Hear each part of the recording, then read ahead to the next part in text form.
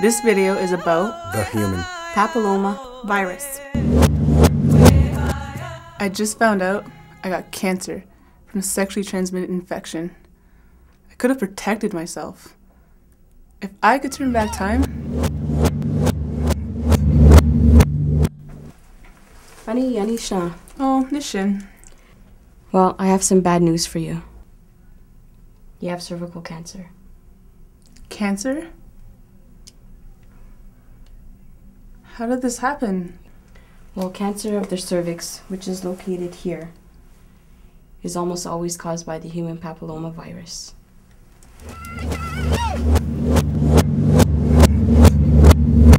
I was with my boyfriend so long, we just stopped using condoms.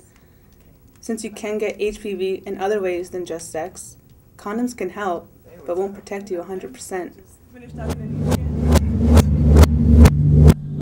My boyfriend had HPV. Like most people, he didn't know he had it because he had no signs. My doctor tried to tell me about HPV vaccine. That could have protected me. If you're thinking of becoming sexually active, you should consider the HPV vaccine.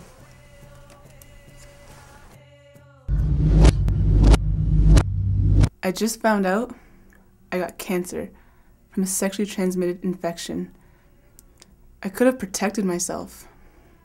If I could turn back time, I would get that vaccine. If you respect yourself, Your life? and your partner. you would get the HPV vaccine. we, are, proud, to be Anishinaabe. I'm proud to be me. And I protect myself.